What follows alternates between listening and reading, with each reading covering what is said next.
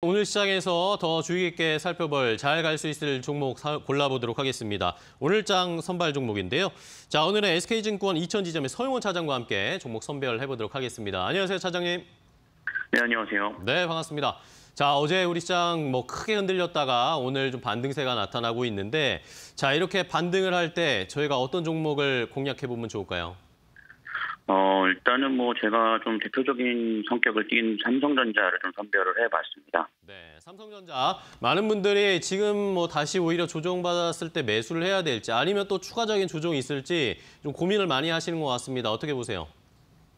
네, 일단은 뭐 분명히 좀 낙폭이 좀 과대한 부분들은 있었다라고 좀 판단을 하고 있고요. 뭐 그런 상황 속에서 어, 저가 매수 기회는 충분히 좀 나오고 있지 않나라고 생각을 하고 있습니다. 사실 뭐 지금 시장이 좀 V자 반등을 좀 기대하기는 어렵기 때문에 다시 한번 좀 매수 기회는 좀 나올 수 있을 것으로 예상이 되고 있는 만큼 한번 좀 긍정적으로 좀 보시면 좋을 것 같고요.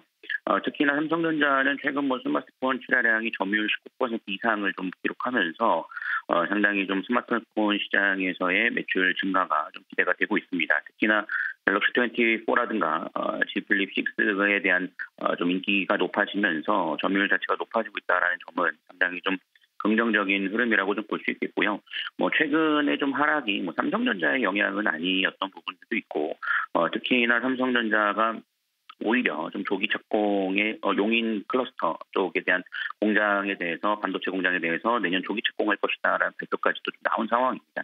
그렇기 때문에 최근 뭐 메모리 반도체 쪽에 대한 매출이라든가 스마트폰에 대한 매출을 감안해 본다라면 어, 최근에 좀 하락은 좀 과도한 만큼 오히려 저가 매수 기회로 좀 잡아볼 수 있지 않을까라고 생각하고 있습니다.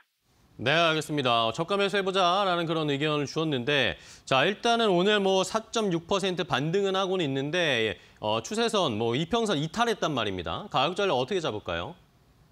네, 일단은 뭐 지금 가격도 나쁘진 않을 것으로 예상은 하고 있고요. 다만 이제 지금 시장이 좀 V자 반등을 우리가 계속 확인할 수 있냐라는 점 감안해 봤을 때 그럴 가능성 높지 않기 때문에 뭐 7만 원 초반대를 한번 좀 매수가로 좀 잡아보시면 좋지 않을까라는 생각을 하고 있고요.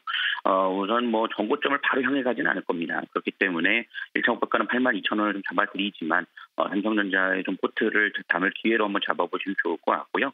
현재가는 뭐 6만 원좀 잡아드리도록 하겠습니다. 네, 알겠습니다. 삼성전자 7만 원 초반대까지 좀 내려오면은 매수를 해보자, 분할 매수를 해보자, 모아가자라는 전략 저희도 잘 한번 참고를 해보겠습니다. 좋은 종목 알려주셔서 감사하고요. 차장님 다음 시간에 또 뵐게요. 고맙습니다. 네, 감사합니다.